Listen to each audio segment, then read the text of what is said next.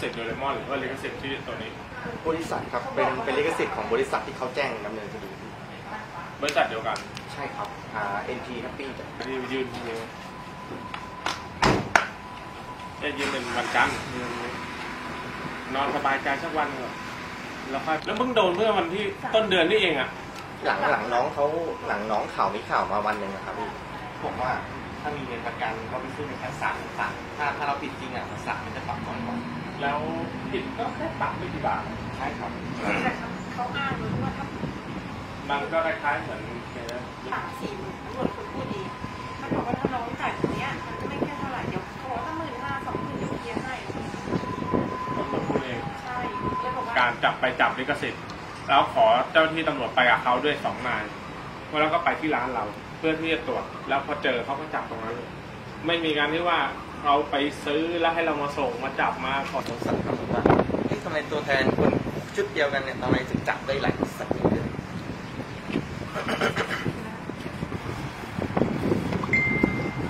หน้าอีกคนเดียวคนที่ใช้เฟซที่หนุ่งหนิงนั่นแหละแต่มีผู้หญิงในแก๊งอยู่คนเดียวที่ทำการล่อซื้อทุกครั้ง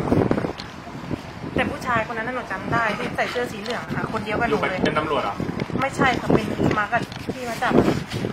ลิขสิทธิ์อะลิขสิทธิ์ทีมลิขสิทธิ์ที่ใส่เสื้อเหลืองอะคนเดียวกันคนได้คนเดียวกันเลยนะใช่คนเดียวกัน หากินกันง่ายระบบความค่าความเสียหายเขาทักมาก่อนเขาทักมามีลายนี้ไหมอะไรเงี้ย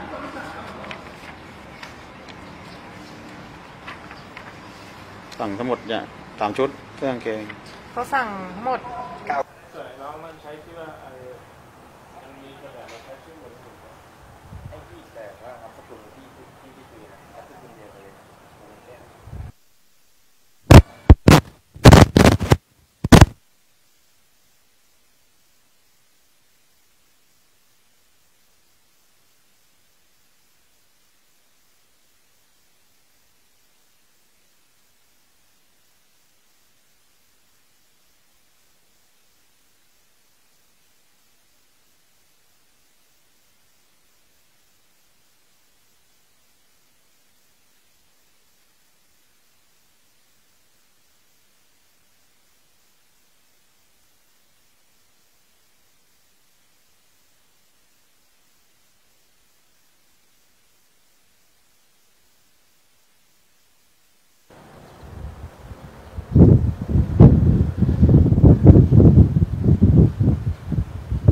ว่าเมื่อวันเนี้ยวันเนี้ยมีเข้าไปแจ้ง